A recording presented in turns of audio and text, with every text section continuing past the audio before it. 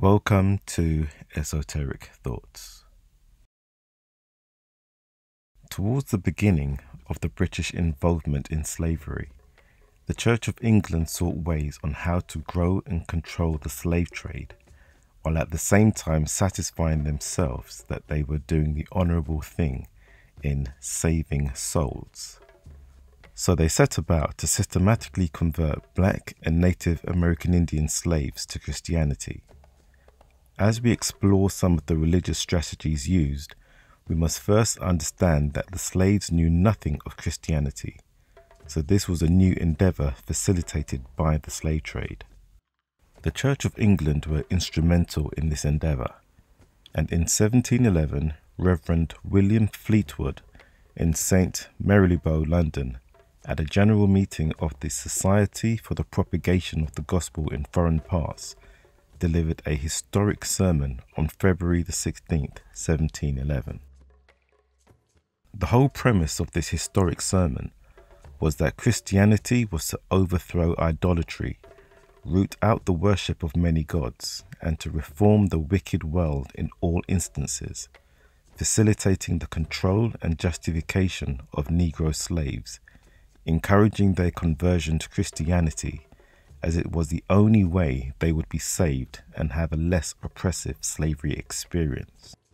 One of the first verses used in the sermon is Acts 26, verse 18 to open their eyes and to turn them from darkness to light, and from the power of Satan unto God, that they may receive forgiveness of sins and inheritance among them which are sanctified by faith that is in me. The slaves were seen as savages, idolaters, infidels, vicious, ignorant, primitive in their knowledge of anything spiritual. The bishop goes on to say, which is one reason why the Christian morality exceeds all others, because the Christian revelation discovers a more excellent and perfect supreme being than any other institution or religion. Verses like 1 Thessalonians 1 verse 10 was used in the sermon to stoke fear into the slaves, planting the seed of something worse than slavery coming their way if they didn't convert to Christianity. The sermon narrative was that Africans were sinners and must be shown the error of their pagan ways, and only through the mighty Saviour and Deliverer, Christ, can they be saved.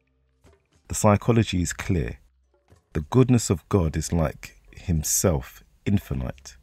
He does not only save us from our sins, but crowneth us with mercy and loving kindness.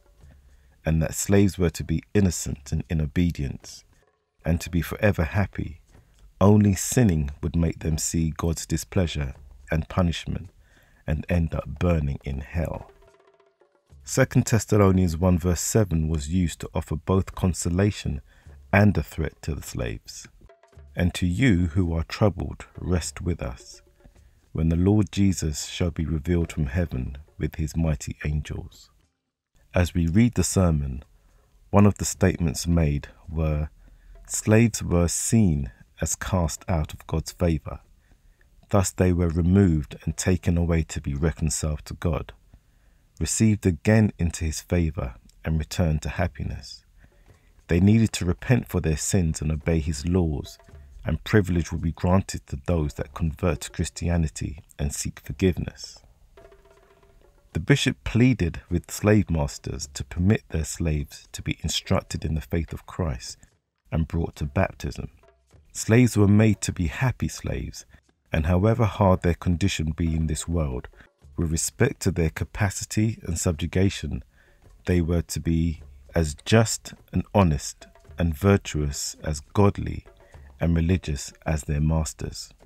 What account then will these masters give of themselves, who are the occasion and the instruments of bringing these unhappy people from a country where the name of Christ is never heard or called upon, into a country where Christians govern all, and Christ is called their Lord and Master, and yet will not permit these slaves to be instructed and become the servants of this heavenly master. The bishop said the only inhumane thing that could be done to slaves is not converting them to Christianity, and preach guidelines for how to approach this. The first is that were their slaves Christians, they would immediately upon their baptism become free.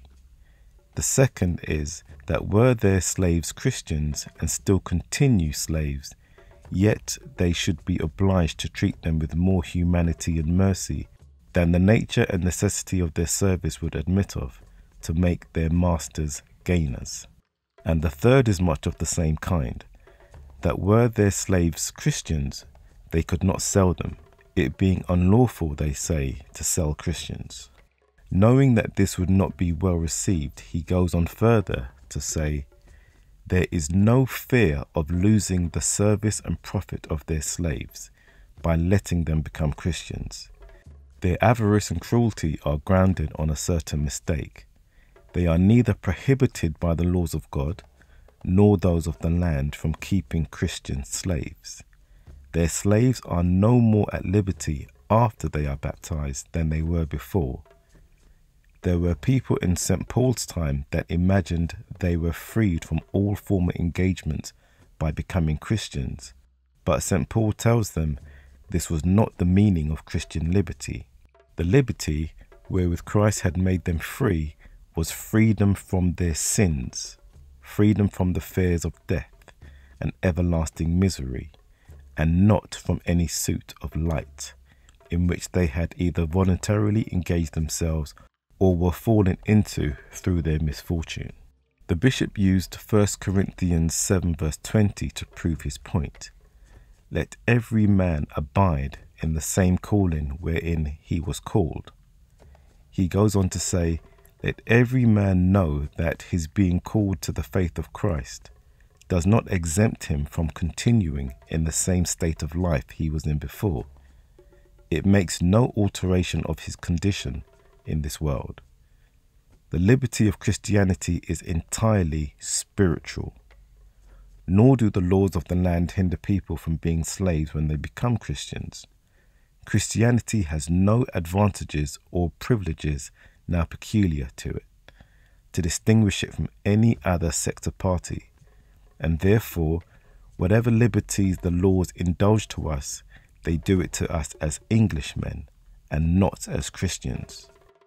If therefore it be lawful in our country to have or keep slaves at all, it is actually lawful to have or keep them so, for they are Christians. Bishop Fleetwood goes on to say, The third and last pretense is built upon that of interest. For since they bought their slaves for money, they would be losers by permitting them to be made Christians, since after that they could not part with them for money, it being, they say, unlawful to sell Christians. The bishop addresses the concerns of slave masters who don't want to convert slaves to Christians because they don't want to sell Christians, the bishop says if men had truly a propriety in their slaves before they were baptized, and could not dispose of them as they do of other goods and cattle for money or its worth, I dare be positive, the laws of Christ will not deprive them of this property, and I am very sure the laws of the kingdom take not away the right of such a sale upon receiving baptism if it were justifiable before. The bishop quoted Deuteronomy 25, verse 4 Thou shalt not muzzle the ox when he treadeth out the corn. In other words, masters shall not starve the slaves while the slave is preparing bread to feed his master. This religious society itself owned 300 slaves across two plantations. Like most religious organizations, the objective of the society was to increase its wealth. So after this very sermon, they requested Her Majesty the Queen to encourage a public collection from all the parishes and precincts. They sought to appoint a bishop to govern the missionaries in New York, New England, Pennsylvania, and other parts of North America, Her Majesty's colonies. They taught slave children to read and write and understand Christianity as taught by the Church of England, but the only permissible reading material was the Bible and prayer books and other practical and devotional material, sending English and French prayer books to Carolina and New York. The society sought to build relations with native Indian leaders to form an alliance with the Crown of England, teaching English to the native Indians, the Yamasee Indians, in order to instruct them in the knowledge of the Christian religion. We will explore more of these critical historic religious sermons and strategies in future videos. Thank you.